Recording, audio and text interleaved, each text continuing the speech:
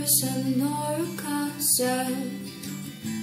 Why am I getting so damn upset? I write out my thoughts, make them tangible, but they just end up feeling fictional.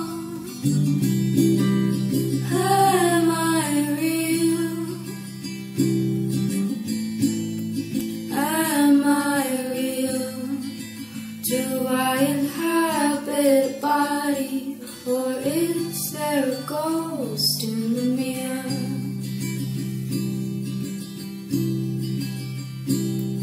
Am I a person or an object? Feeling an overwhelming disconnect. I lie in the grass, I swallow the flames. I don't there's someone to be blamed.